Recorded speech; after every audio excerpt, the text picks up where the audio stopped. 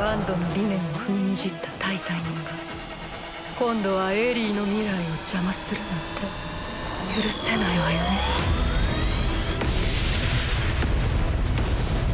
攻撃!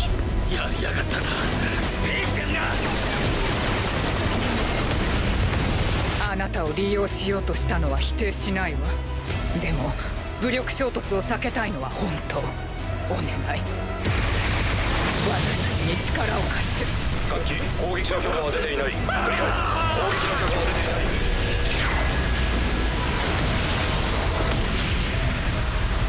一体何が？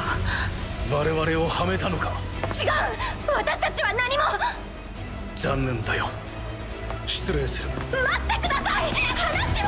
代表もこちらへ